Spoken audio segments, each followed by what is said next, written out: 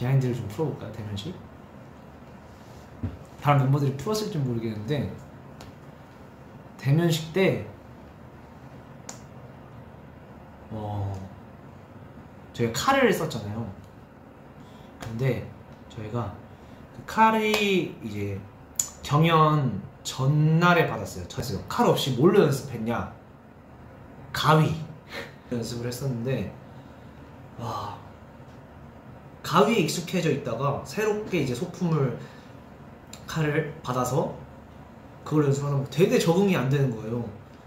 그래서 그 잠깐 시간 내에 빨리 적응을 하려고 계속 돌리고 계속 돌리고 막 이랬어요.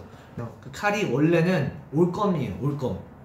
올 검정색인데 그게 무대에서 안 보이잖아요.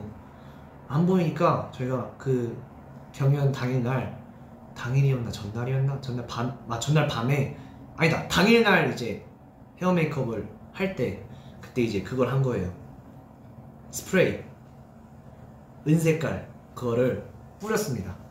그 안무를 할 때 나 예를 들면 칼을 돌릴 때 소리들 이런 것들을 직접 찬이 형이 거기서 노트북을 가지고 와서 안무가 이렇게 나오면 거기에 맞춰서 소리가 보이게끔 뭔, 뭔 말인지 알아요?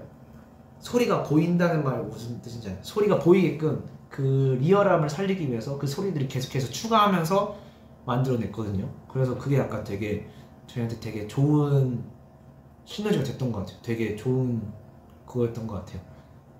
그랬고 어... 아 근데 진짜 100초 그러면은 아 정말 떨렸고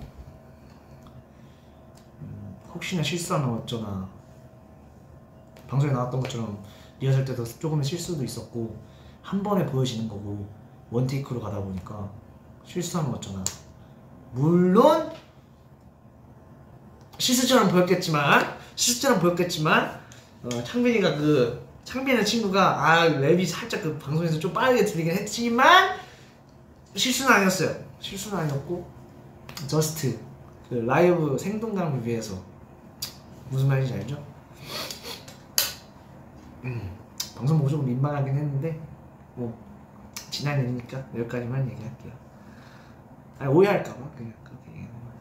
그냥 오해할까봐 혹시나 창빈이 어, 많이 긴장을 해가지고 그럴까봐 딱 긴장 네 긴장되긴 했어요.